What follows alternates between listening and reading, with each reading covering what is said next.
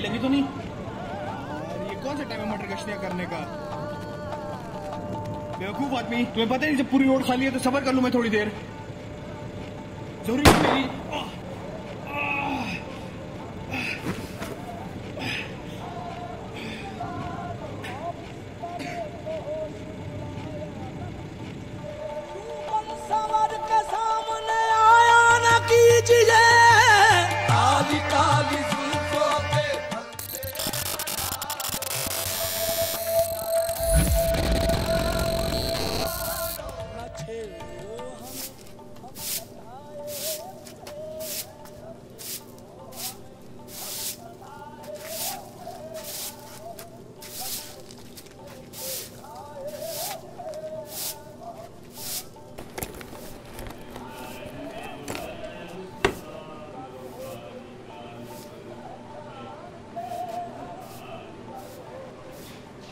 ਚੱਲ ਇਸੀ ਮੈਂ ਜਾ ਰਿਹਾ ਰੂਮ ਤੇ।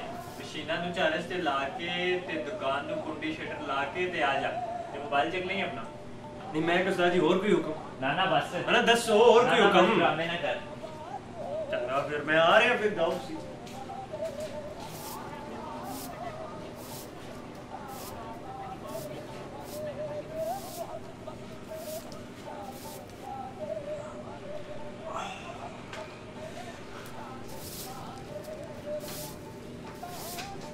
जी सर जी। यार दुकान खुली है? सर जी क्लोजिंग यार इमरजेंसी है सर जी अभी क्लोजिंग कर दी है। आप सुबह फ़र्स्ट टाइम आ जाना आपका भाई ऐसी चंगी कटिंग करके देना अभी यार समझो ना इमरजेंसी नहीं तो तुम्हें अभी क्लोज कर दिए यार तुम पैसे ज़्यादा ले लेना।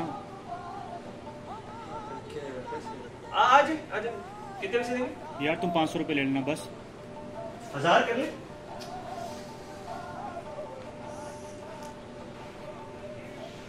ना मेरे पास सात सौ दस रुपए आजे आजे बैठे। कोई सर पैसे की क्या? बैठे। बताइए सर। क्या कराएँगे? यार बाल छोटे कर दो और दाढ़ी खत्म कर दो सर मैं आपको अपनी चूज़ बताऊँ। सर मेरी चूज़ ये ये ये यहाँ से आएगी लाइन यहाँ से खत आएगा यहाँ से भी आएगा ये ये यार तुम खत्म कर दो यार। ठीक।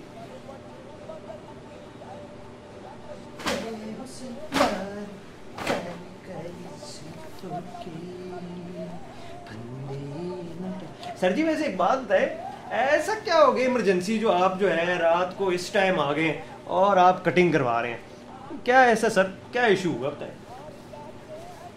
सर जी हाँ सर जी केड़ी सोचा है जो मैं ਤੁਹਾਨੂੰ ਦੱਸ ਰਿਹਾ ऐसी जबरदस्त कटिंग करके दूंगा ना लोग देखेंगे मुझे बताइए क्या इमरजेंसी क्या होगी सर बस सुबह एक ऑफिस में मीटिंग है तो मैंने कहा सुबह तो टाइम होगा नहीं भी करा लूँ सर, वैसे गर्मी इतनी हो गई है, गरीब बंदा किधर जाए, हैं?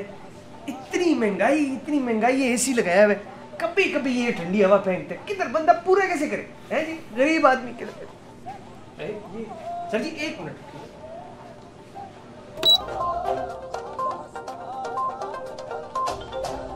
यार, जल्दी कर लो, मेरे पास टाइम नहीं है यार। एक अहम खबर से आपको आगाह करते जाएँगे। रावलपिंडी के इलाके सेटेलाइट टाउन के ब्लॉक बी में एक शख्स दो अफराद को कत्ल करके फरार हो चुका है। पुलिस की बारी नफरी उस इलाके में तैनात कर दी जा चुकी है। हमारे जो जरा है, उसके मुताबिक इस शख्स के खुलिए के बारे में ये भी कहा जा रहा है कि इस शख्स ने सुरमई रंग की शर्ट और नीली पैंट पहन रखी है।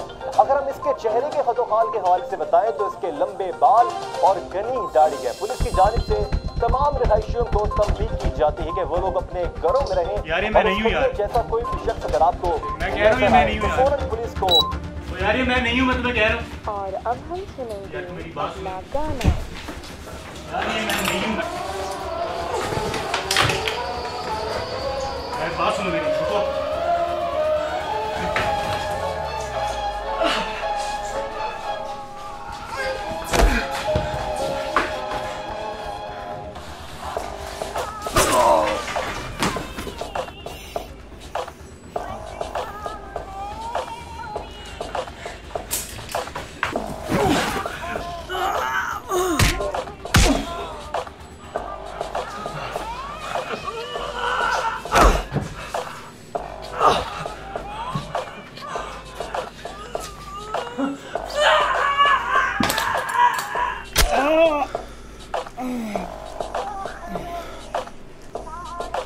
Oh.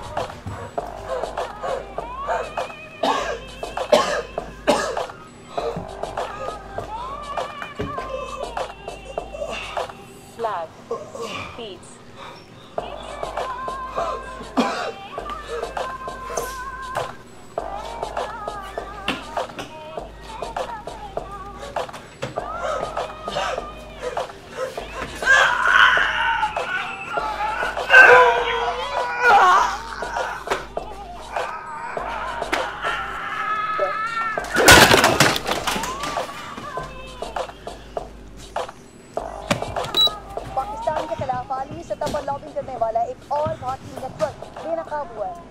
मन घड़त खबरें फैलाकर पाकिस्तान पाकिस्तान को बदनाम करा था। ब्रसल्स की डिसनपुर लैब ने 116 ममालिक ने भारत के 750 प्रोग्राम का बकिया हिस्सा आप देख सकेंगे इस न्यूज़ ब्रेक के बाद।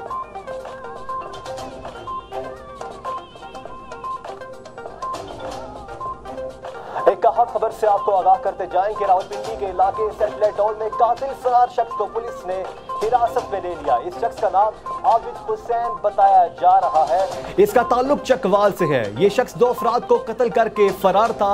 सैंतीस साल अरशद हमीद और इक्कीस साल अली रजा। हमारे जराये के मुताबिक आबिद हुसैन और अरशद हमीद के दरमियान जमीनी मामले के ऊपर झगड़ा हुआ था, जिसके ऊपर आबिद हुसैन ने अरशद हमीद को गुस्से में आकर कत्ल कर दिया। एक बड़ी और अहम खबर अपने नाजरीन तक पहुंचाएँगे। रावलपिंडी के इलाके सेक्टर टोल में कातिल फरार शख्स को पुलिस ने